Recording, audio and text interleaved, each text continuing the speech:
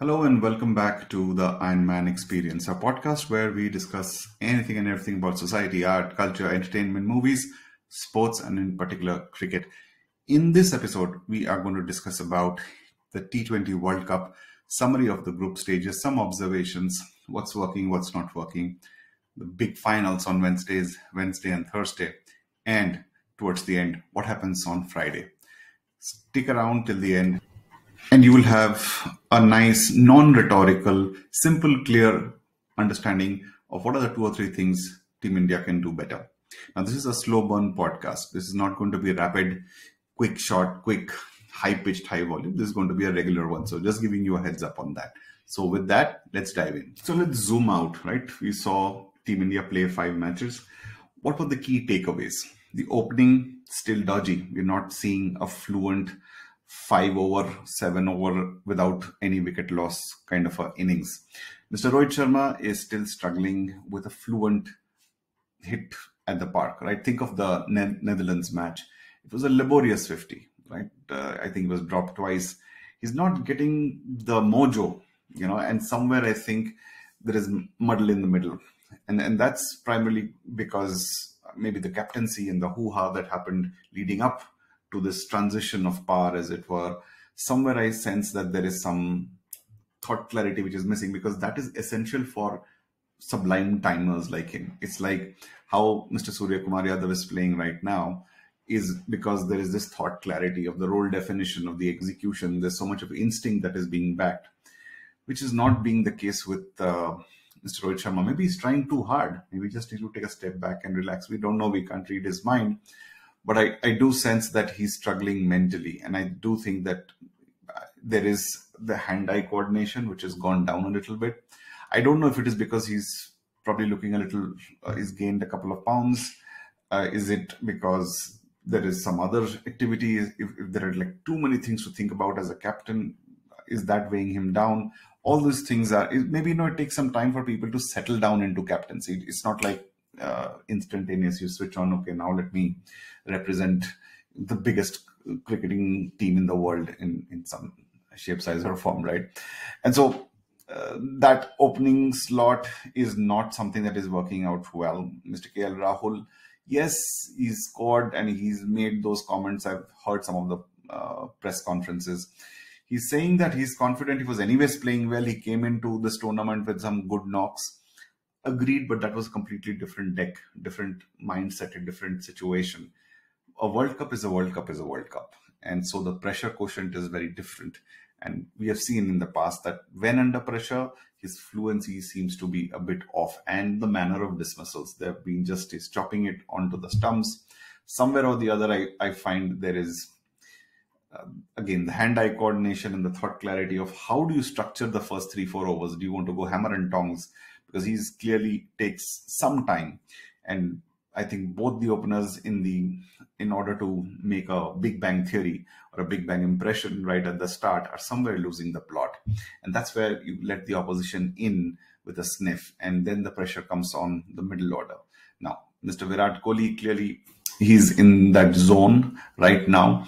I still think that he's yet to reach the peak of that zone. He's on, he's on a recovery path. Let's put it that way. And and you can see the fluency that is, uh, you know, in the hand-eye coordination, in the cover drives, in the flick of the uh, on the onside, and so you, you sense that he, he's getting there, and he's the big match player. He's the mojo player. He's the Josh player, right? So he will uh, stand up followed by Mr. Surya Kumar Yadav. I don't want to jinx the gentleman, right? I mean, he is on a different plane altogether. Yet, the point with him is that he cannot be given so much of pressure that his mojo goes away. And I'm probably using this word a bit too often, but I, I do feel that in such marquee encounters, marquee tournaments, where your headspace is matters much more than anything else. So at the moment, his headspace is in the right space It's not going left, it's not going right, it's just on the ball and it's instinctual. And he's playing with some gay abandon, like freedom. And that has to continue in key matches, in key moment, in big matches. And the one that's coming up on Thursday is going to be probably the biggest match that he's ever played. And so the test of character will be proven then. Followed by Mr. Pandya. Mr. Pandya has been blow hot, blow cold. Clearly, nobody, listen, the disclaimer is nobody's doubting anybody's talent. If you've made it to the top 11 with potentially two other teams that could probably replace most people and, you know, play at the park, uh, there is no doubting that. But somewhere I, I feel, and, and a lot of people might not like this, I still think he overdoes the short pitch theory. He does it a little too much. It's a alpha thing to do, right? I will still bounce you out. Let, why don't you try hitting me maybe for a couple of boundaries, but eventually you will give in. Uh, well, it's an ego thing. It's worked a couple of times. It hasn't a couple of times, but again, the word is the marquee encounter. Then, of course, is Mr. DK and Mr. Pant. What do you do of, with Mr. DK? He's really broken the door down to get to this place, right? So I was totally shocked and surprised to see Mr. Pant play. Now, Mr. Pant, in my view, and don't troll me for this, I still think he has to figure out the framework of his T20 innings in his mind. Not doubting his temper, uh, his ability or his talent. In his mind, he's still not figured out the template for construction of his innings in a T20 match. I think he does it. He's probably getting the hang of it in test matches. Not seen him as much in ODIs, but clearly he seems to be a better player in test matches under pressure situations. He brings in the X factor, as it were. In T20, he has to still learn to figure out the the regulation of, of the innings, as it were. And I don't know if it requires coaching from Mr. Dravid, mentorship from Mr. Shastri. I don't know, whatever it takes. There are enough people to advise him. I just don't know why it is not getting through to him. So the point is, he's here or not here for the same reason of being inconsistent. If he was so consistent, he would have shut out, shut the door for Mr. DK. Mr. DK exists only because of Mr. Pant not getting up to scratch, as it were, consistently enough. He's had some blinders out there. However, Mr. DK. Now, Mr. Karthik has is in that zone where he knows that this is his probably last World Cup, probably, and I keep my fingers crossed. If you play well, I'm not thinking from a ageism standpoint, but that's how the cookie crumbles in Indian cricket, right?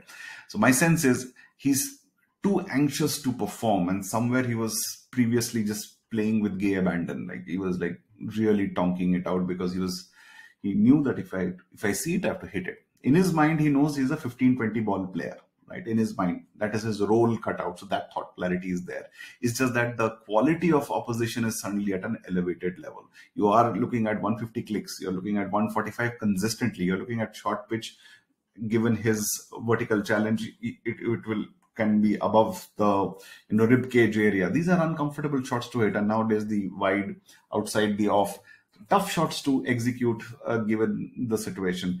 But he's there exactly to navigate that towards the end of the innings, be it the first uh, innings or finish it off in the second innings, which is little more tougher in my view. So somewhere he has to calm down, maybe take a step back, let it even within those 15 um, deliveries that he has available to uh, play has to construct an innings even between. These are like micro innings within a small innings. I know these are exceeding, it's easier said than done, but constructing micro moments will help him as a summation of these good micro moments will get in him into this good zone and good score. And eventually, you know, those instinct shots will start to reappear. As of now, he's starting to feel a little itchy, edgy, uh, given that whatever little that we have seen of him, it's is not fired well, especially in the India-Pakistan match. In the manner in which he got out was worrying to me. It's like he stepped out of the crease, and you're like still wondering where the ball goes. The instinct is to first put your feet back, right? The moment you missed it, it should like trigger a synapse electric signal that okay, now oh oh, I got to put. So I, I saw that response to stimuli a little lesser, and I don't know uh, if it was the occasion that got to him or if there was something else.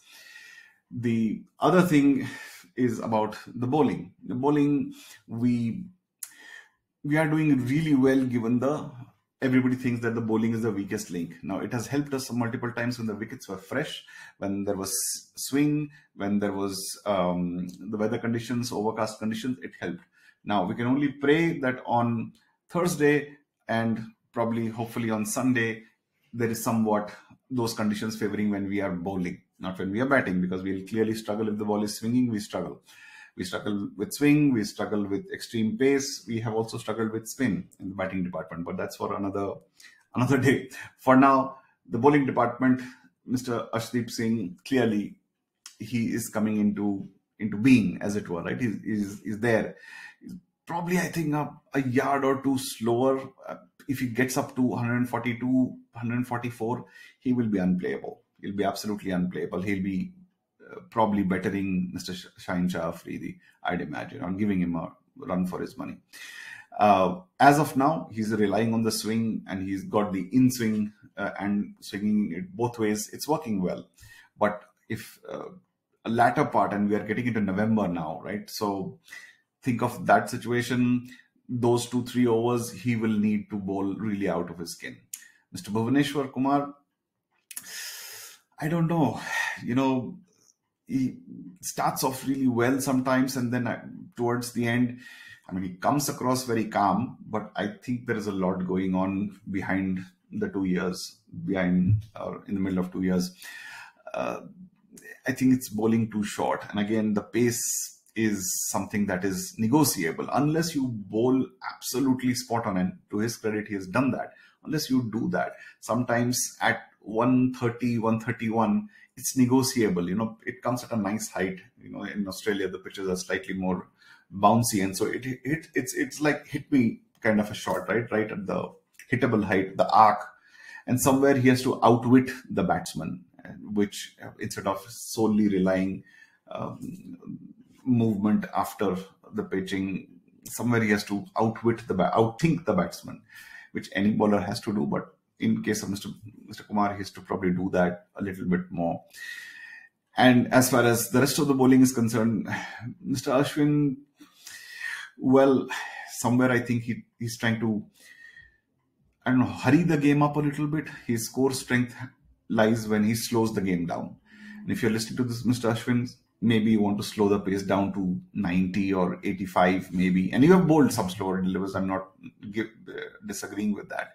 But somewhere, I think when you are tonked for a couple of boundaries, I think you try to dart one in uh, multiple times. And somewhere, you are probably the best candidate to outthink a batsman or outwit a batsman. And you will require that against uh, Team England and whoever we meet in the finals. But the worrying thing for you is not the bowling and certainly not the batting. What worries me is your fielding. Fielding somewhere you stand out. In the sense, uh, it is evident that th- that's the weak link. You have to start chasing, even if the ball probably will uh, cross the boundary. If you give it a fair chase, this is the time to chase, right? This is no time to preserve two matches left you have to give it everything. If this means that something gets bruised or some you know that's part of it. And i'm not doubting your intent or intention or anything but probably you have to speed up your fielding a little bit. And that kind of gives you an overview of where the improvement areas are from a team perspective. But from a if you zoom out from the matches that we played we ran uh, the first match with pakistan very close to be fair, now that the adrenaline has died down and strictly speaking, cricketing point of view, it's fair to say that Team Pakistan controlled the match for 60 70% of the time. It's because of heroics of one particular person. We kind of got a lot of things went our way, you know, the stars aligned. And so on, on a given day when things have to work, they just work. When they don't work, that they don't work, right? So it's very important that we uh, re- recognize the fact that, that it was not a comprehensive victory. You are expected to win against teams who are way low ranked, say a Netherlands match or a Zimbabwe match, but against com- competitive teams that of Pakistan or uh, South Africa, in both matches you really struggled. That's that's the right analysis. You won one of them and you lost the other one, and uh, you probably held the game until the tenth over against South Africa, and it kind of almost as if you switched off from the 11th to the 19th over like not switched off. Well you're like at your wits end. Okay these guys are tonking me. Miller is tonking me. What do you do? How do you disrupt the momentum? Can you do something different? Can you switch ends? Can you uh, slow the game down? I don't know. Yes, there is. You can argue that that a fielder will have to be brought in as a penalty if we over if the over rate goes beyond the stipulated time. But somewhere we need to figure out to disrupt the opposition momentum. And I'm not talking sledging here or anything, cricketing ways. Is there a way we can disrupt the momentum and manufacture something or engineer something vis-a-vis going through the motions? And that's the sense I got from the South Africa match that you I don't know what to do. The, I'm pitching here, is hitting here. I'm pitching there, is hitting there. Well, then the, the, concerned with people, try something else. I don't know if Rohit Sharma should have bowled. Somewhere you have to try something. Yes, it might backfire, possible. But if you don't try, it is surely not going to work, right? You miss 100% of the shots you don't take. So that's what I probably want to see from Mr. Rohit Sharma as the skipper, that you've tried to do something different when the going was going game was getting away from you. So against South Africa on a spicy pitch, we can all say that yeah, this we are not used to it and all that. But net of the story, when the crunch game came, we were struggling. And so the match against um, Team England on on Thursday, and we'll discuss it in the next segment. We will have to plug these holes that have emerged in the group stages, right? All that the whole team we just discussed. And last but not the least, why I appreciated the fact that we uh, won the match against Zimbabwe without being complacent about it, without uh, barring having Mr. Pant play. Uh, we should have had DK a longish run in, in some sense, given him like two, three overs to go and tong the ball so he gets his mojo back. But barring that, I think you finished off the game properly in a thumping way. It was not like a huffing and puffing and scraping victory. It was like a proper victory. So, so that's good job done.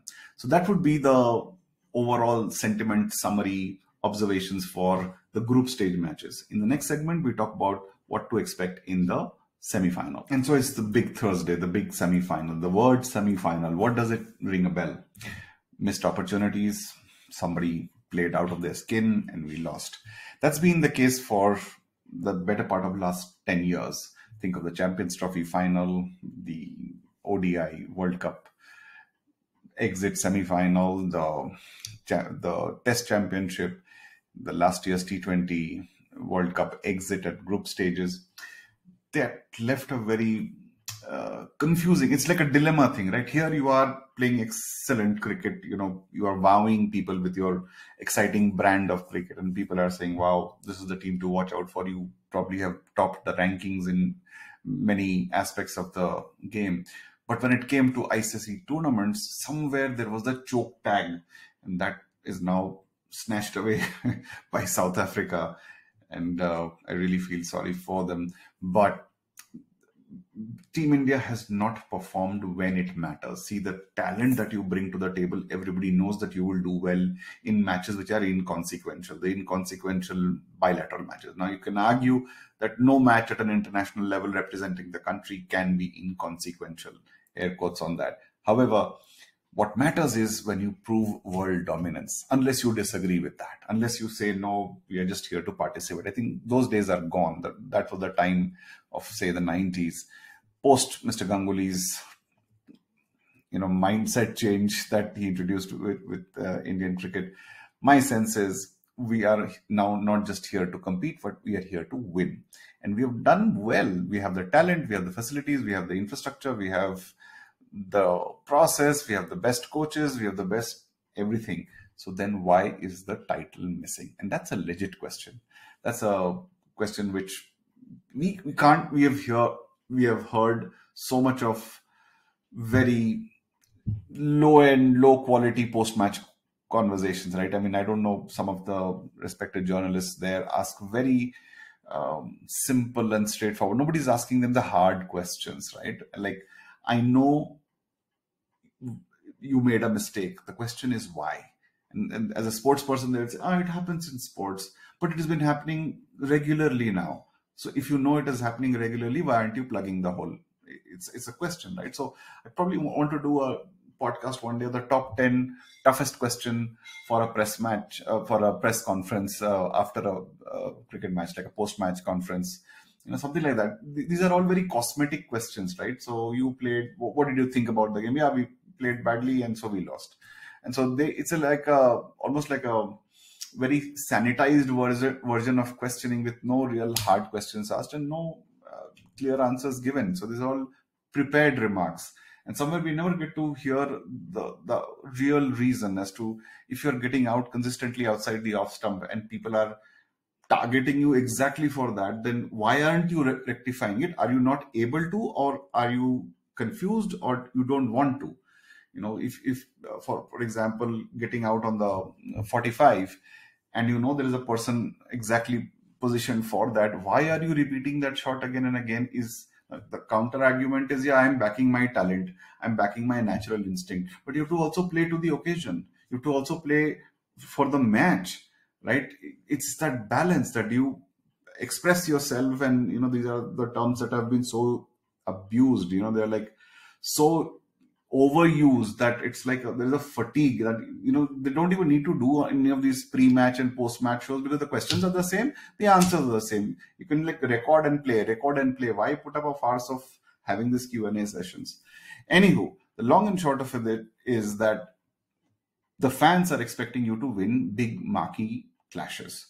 That is the net of it. You shouldn't have to scrape through group stages in the first place. You have to raise the bar. You have to raise the bar of excellence that you score when it matters. You deliver, and, and that's where you walk the talk. Otherwise, rest all is Maya. rest all is just doesn't matter, right? You can play wherever, do whatever, and you know have nothing matters. What matters right now is Team India break down this barrier that we can't win big moments or big matches. And that begins on Thursday. What do you need to do? So, my sense is Team England bat very deep. So, you have to pretty much outbat the opposition. You know that. But can you go a little deeper in that? What is, if the par score at the ground is 160, with a batting lineup of Team England, you have to go plus 30 and I'm, I know I'm being a little more aggressive here, plus 20 is, is for sure. Idea is to, to be safe, plus 30. If they beat you post that, you must have bowled exceedingly poorly or really bad, or they played out of their skins. So you have to take the match to that level. And that can happen if you bat first. If you lose the toss, for example, and you bat first, if the par score is 160, you have to get to 190. That's one way of restricting uh, Team England towards getting there, and then you have to bowl and field really well.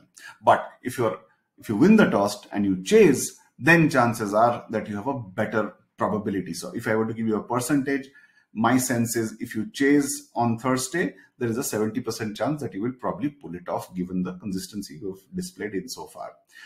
On the and and the fact that English bowling, yes, it is good, but I'm still barring if you can negotiate Mark Wood a little bit. It's not like that. You, it's um, as threatening as say how South Africa or even as potent as uh, Team Pakistan's bowling is. It's kind of relentless, right? 150 after 150 after 150. It's some not like that. So you can breathe easy a little bit. And so the best bet is you win toss, choose to uh, chase and then deliver without having to go down to number batter number five, six, or seven. That's the ideal. However, if you do lose the toss and are inserted into batting, then you have to go to about plus 25, plus 30. Other than that, I if you don't do that, then your win probability absolutely plummets. Like it'll go down below 50%.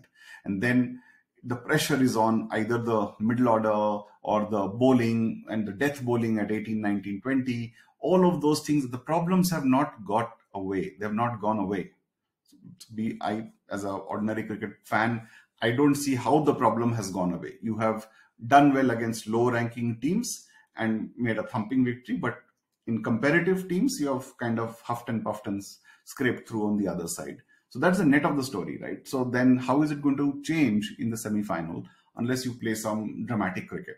Again to end this segment i'll just say this right? If time and again heroics is bailing you out, then your process is failing. You get what I'm saying? If you are always in the search of Superman, turns out there is only one, and sometimes he might not be able to do the job, right? And so if if the team chips in, everyone, you know, the risk is mitigated, the risk is divided, and so it is incumbent upon every single one of them on the park to contribute above their, their common average. And so, for example, the problem has been losing a wicket within the first six overs. Please make that a target as to not lose the wicket in the first six even if that means you've scored, say, 50 runs or 45 runs. Anything below that, then that's again a problem, right? So if you get to about 50 runs in six overs, no problem. Then from over 6 to 16, you get another, say, 80, 90 runs, still okay. So 90 and 60 are already at the 150 mark at around the 16th over or there or 17th over.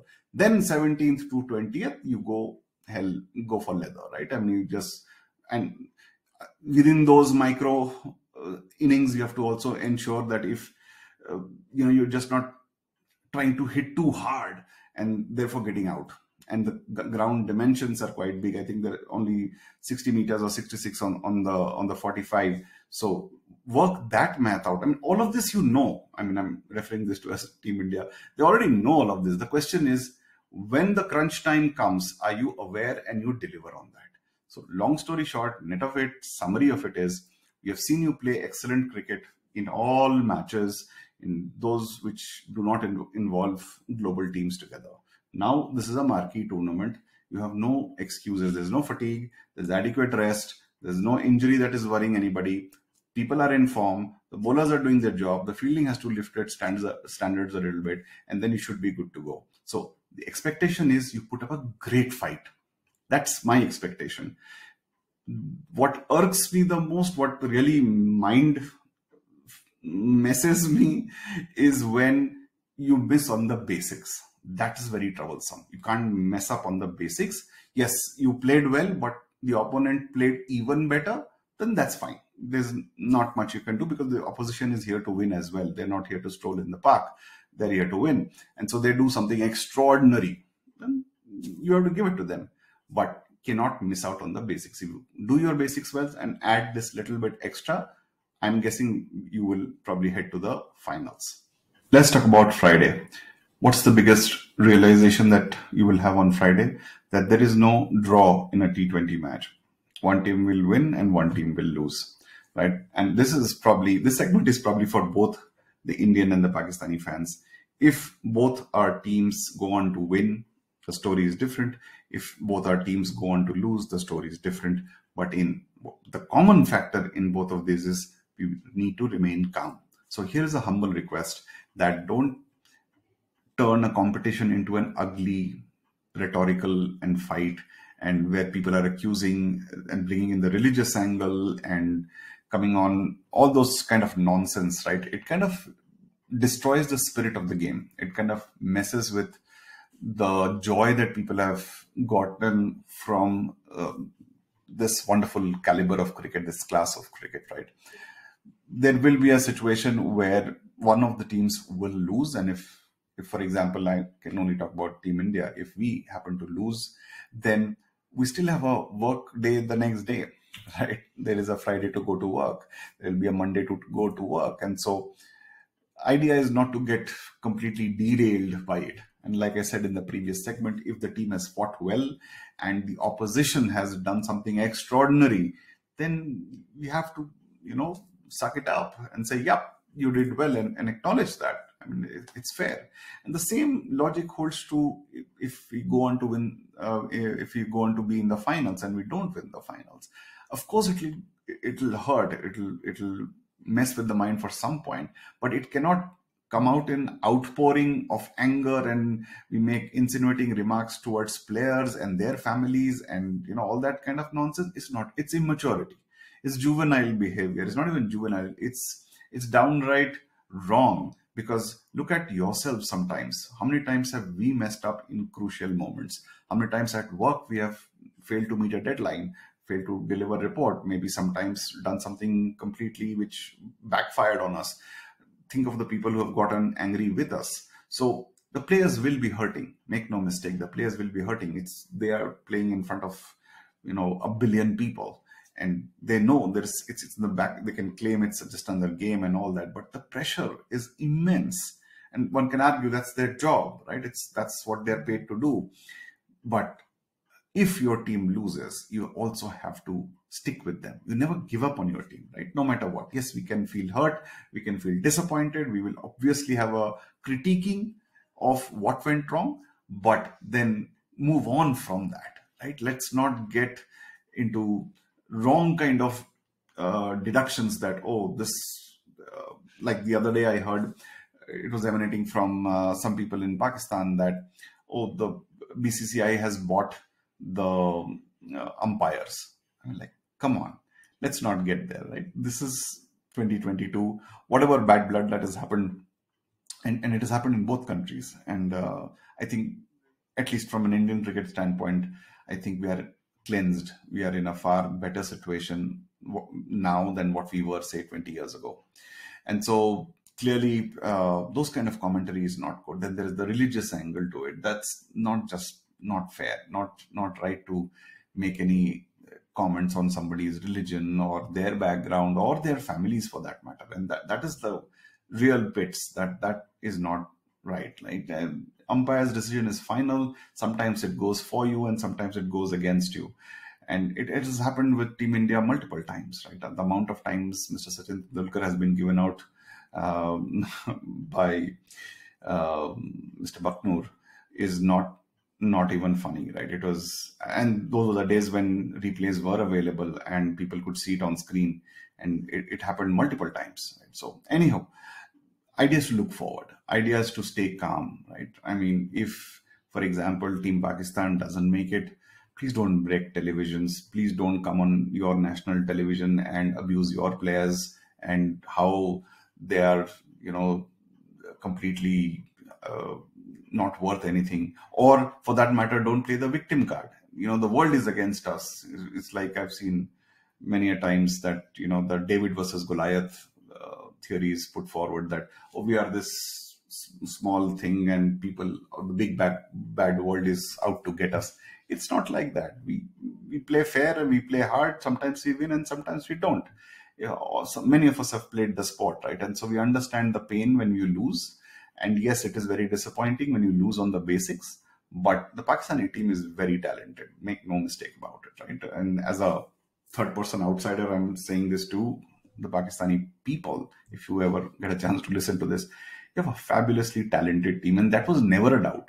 Right? Never, not now, not even in 2010 when you were probably going through the worst phase. Talent was never the doubt, right? The question was execution of the talent on the park, and and so I, I the, the whole point is that Team Pakistan has always had this reputation that precedes them of being mercurial. You know, they get charged up very easily, they get riled up very easily. And I'm sure now that they've come into the semis, there are 30,000 people who are riling them up that now we will, you know, nothing stops us. Like, I'm quite happy as a cricket lover that there is a person of the caliber of Mr. Babar Azam who's got his head on his shoulders, right? He's not, he doesn't come across as the rhetorical type of guy. Don't make his life any more harder. Don't make his life any more tougher than what it already is. And somewhere give that the support. He seems to be a nice gentleman. And I think the team that he's trying, the team culture that he's trying to bring about is that of let's let the bat do the talking, let the ball do the talking, let's not let not the mouth do the talking. And that's the right way to go about it. Likewise, for Indian fans, especially if there are trolls, you know, either you don't understand the sport well or you've not played the sport well. And if there is some ulterior agenda, narrative that you want to push, please, can you just for a brief moment in time grow up? Somewhere it is it happens in sport where a player tries his best but does not able to you know get to where they intend to and it's all right I mean, it happens. You have to learn to deal with failure. People always teach us how to succeed. Nobody teaches us how to fail. And that is an equally important time. You to fail. If you fail, then you, yes, you fail uh, gracefully with a dignified manner, and but you also get up fast. Right? You, you fail and you dust yourself off and, and you get up fast. And the team will do that. Right? That's what they are mentally conditioned and coached for. But to make unparliamentary remarks, very uh, baseless commentary pointing at their families and all that that that is very that's that that means you're not a true cricket lover and if you are not one then don't make somebody's life hell right if you have a personal opinion or a personal angst against somebody, best bet is to keep it yourself. If you can generally contribute to the betterment of the sport in some way or the other, then absolutely. I mean, everybody in India is a cricket expert in some sense or the other. I'm not. I'm, I'm nowhere close to be an expert. I'm just an observer from the outside who's viewing the game very closely, objectively, with a non rhetorical mind and just purely from a sporting angle. And I'm okay to be corrected. All the observations that I shared in this course of uh, this episode, I'm sure there are things which will go on to prove wrong or absolutely opposite, or there might be comments, Are, did you not think about that? That That's fine. I mean, people I don't claim to be Mr. Know All or know everything. I don't. But the idea is to be honest about it. Honest about it. It's not with any malice. It's not with any, you know, bad intention. Right. So my humble request is this is going to be a big two days, Wednesday and Thursday for both the teams. And if both teams win their matches and then we meet on Sunday, then that is going to be a mega occasion to uh, celebrate, even if one of the team loses right? It's where both of the teams would have fought tooth and nail, and the better team on that day won. And as cliched as it might sound, but that's how sport functions. That's how it works, and we wouldn't want it in any other way. Where two um, highly talented teams compete with each, each other, and then one team betters the other one. Well, that's all the time I had for this edition of the Aayanman Experience. I hope you enjoyed this slow burn, detailed, non-rhetorical, simple style of sharing thoughts and views on something that I love very dearly, that's cricket. If there are any thoughts, comments, and suggestions, please do leave in the comment section below. Please do share with those who care and those who would like and have the patience to hear something like this at length and at leisure.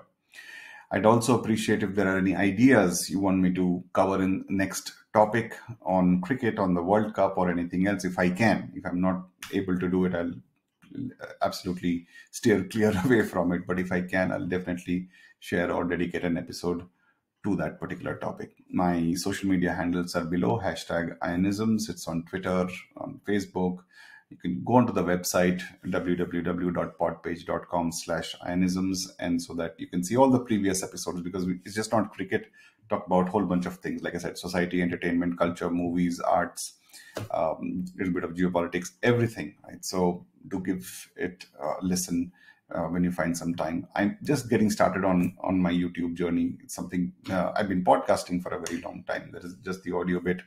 So uh, I need all your uh, love and support and see if I can uh, take this further. Thanks so much, and till we meet again, peace out.